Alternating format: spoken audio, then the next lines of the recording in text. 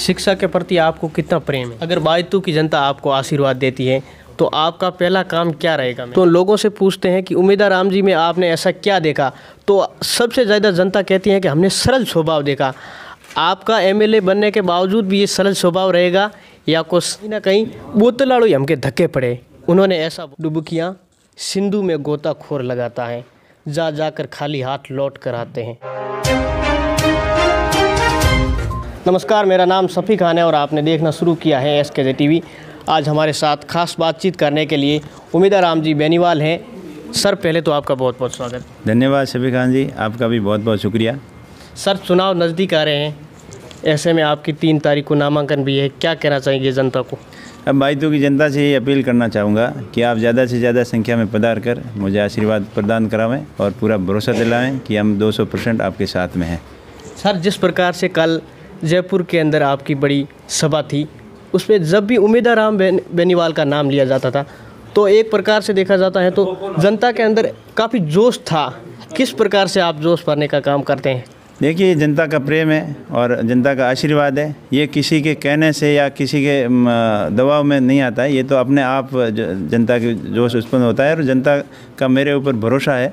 और मैंने पिछले पाँच सालों से कंटिन्यू जनता के बीच में रहा, उनके सुख दुख में हमेशा काम आया और एजुकेशन सेक्टर के में विशेष तौर से बदलाव करने का मैंने जो बीड़ा उठाया और मैंने ये सोचा कि जैसे बड़ी स्कूलें हैं, नामी स्कूलें हैं, उनके अंदर जो शिक्षा का ज़रिया है, सिस्टम है, वैसा सिस्टम मेरे गाँव की प्रत्येक ढाणी लास्ट छोर तक बैठे व्यक्ति को बच्चे को, वही शिक्षा मिले, जैसी शिक्षा स्टैंडर्ड शहरों के अंदर मिलती है।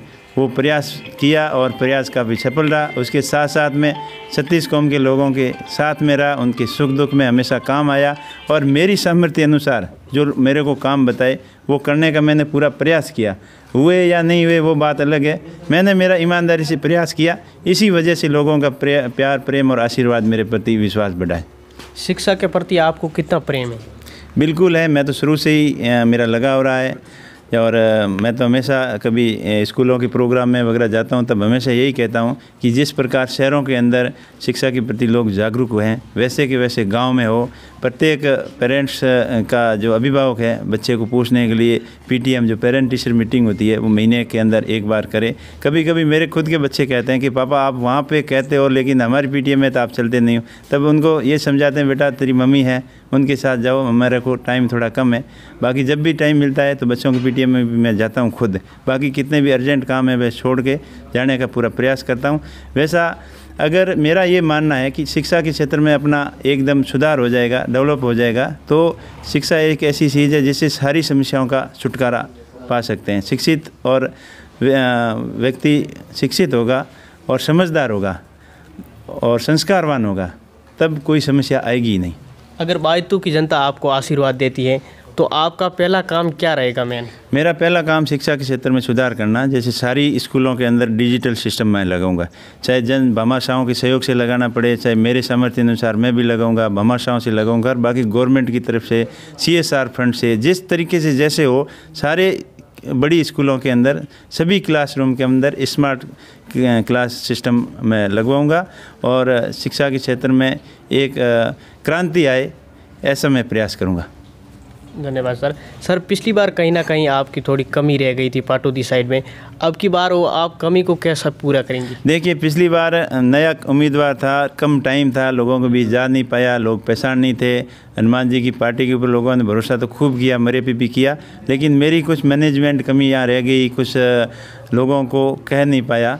इस वजह से वो कमियाँ रहेगी लेकिन इस बार पूरा प्रयत्न है और जिन बूथों के ऊपर पिछली बार कोई जानता नहीं था, वहाँ तक हमारे एजेंट नहीं बैठे हैं और जहाँ बिल्कुल नोटा से भी हमको कम वोट मिले हैं, उन बूथों के ऊपर अभी आज की तारीख में बहुत अच्छा रिस्पांस है और वो जो सबसे कमज़ोर बूथ थे, वो आज की तारीख में सबसे टॉप बूथ बन रहे हैं। इससे के साथ साथ पिछली बार जहाँ अच्छे वोट मिले थे, वहाँ भी डबल जोश है। तो ये देखकर निश्चित तौर पर लग रहा है कि बाइतू की जनता ने मन बना लिया है।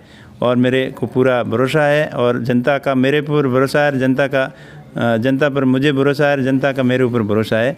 ये दोनों अब दुनिया भरोसे से चलती है विश्वास से चलती है। मुझे नहीं लगता है इस भरोसे के साथ कोई खिलवाड़ हो पाएगी। आपको लगता है कहीं ना कहीं पाटुदी अब की बार बजट बना रही है? बिल्कुल है पाटुदी में हम जीत रहे हैं।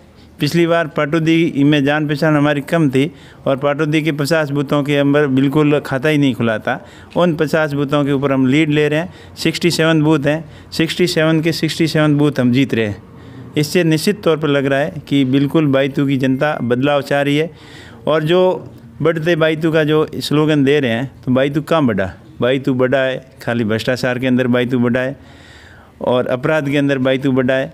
किसी का ईंट निकालने के लिए वहाँ बाईतू बढ़ाए है ईर्ष्या द्वेष और पक्षपातपूर्ण काम करने के के क्षेत्र के अंदर बाईतू बढ़ा है और अब की बार बाईतू की जनता ने इन सब सिस्टम में बदलाव लाने चाह रही है। शिक्षा के क्षेत्र में बदलाव लाना चाहती है। और नए जो सेक्टर हैं, रोज़गार के सेक्टर में बदलाव लाना चाहती है। और जो कंस्ट्रक्शन के काम होते हैं पीडब्ल्यू पीएचडी के, वो घटिया काम हो, भ्रष्टाचार ख़त्म करने के लिए नया बाईतू के अंदर बदलाव आए तो बाईतू की जनता ने बदलाव की ओर रुख बना लिया है और मन बना लिया है कि इस बार बाईतू के अंदर निश्चित तौर पर बदलाव होकर ही रहेगा। सर, हम जैसे कहीं पर जाते हैं, आने जाने के लिए साधन है तो ज़रूरी है, लेकिन कहीं ना कहीं सड़कें बहुत टूटी हुई मिलती हैं। आप, आपको बाईतू की जनता आशीर्वाद देती है तो आप सड़कों के मामले में कैसा कुछ प्रयास करेंगे? सड़कों टूटती क्यों है? अगर कंस्ट्रक्शन घटिया होता है, तभी तो टूटती है। अब मैन में सड़कें देखिए, अब पाटोदी से जाओ, यहाँ से पचपदरा से पाटोदी। सड़क बने हुए डेढ़ दो साल नहीं हुए। सर, और बीस बार बीस बार वहाँ पे पेश वर्क हो गया अगर कंस्ट्रक्शन का काम क्वालिटी का होगा तो टूटेगी नहीं। और क्वालिटी का कब होगा? जब नेता ईमानदार होंगे, तभी और भ्रष्टाचारी अफसरों के ऊपर नकल कसेंगे। तब जाके कंस्ट्रक्शन के में निर्माण में सुधार होगा। अगर कंस्ट्रक्शन का काम अच्छी क्वालिटी का होगा तो रोडें टूटेगी नहीं।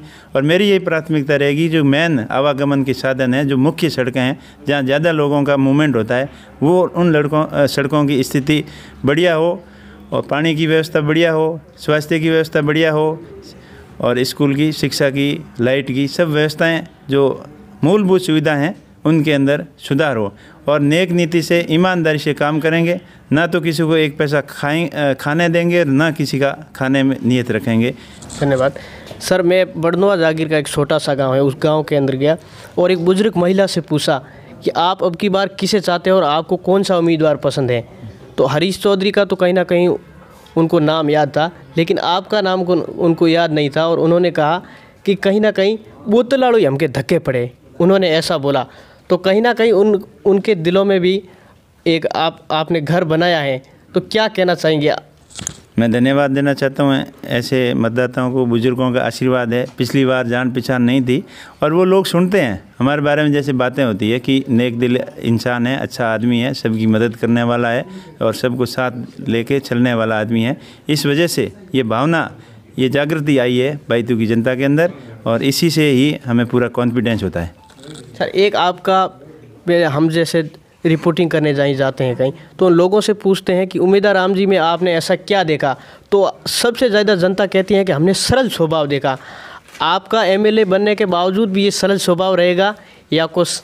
नहीं, बिल्कुल, मैं तो हमेशा से ही हमारा सरल स्वभाव रहा है। किसान परिवार से पैदा हुए हैं। सारे काम हमने कर रखे हैं। किसानी के, चाहे खेत में हल जोतने का काम हो चाहे कच्चे घर बनाने का काम हो, किसानी से संबंधित सारे काम किए हुए हैं, लेबर के काम किए हुए हैं, लेबर कॉन्ट्रैक्टर में रहा हूँ। मैंने दिल्ली पुलिस की नौकरी भी की है दस साल, और छोटे से व्यापार से लेकर बड़े व्यापार तक किया है। तो मैं सभी समस्याओं को मुझे पता है, और मैंने कभी मेरे अंदर, मैंने अभिमान नहीं आया, घमंड नहीं आया। और आगे भी मैं भगवान से प्रार्थना करता हूँ, खुदा से प्रार्थना करता हूँ कि कभी मुझे ऐसा घमंड वाला एहसास न हो।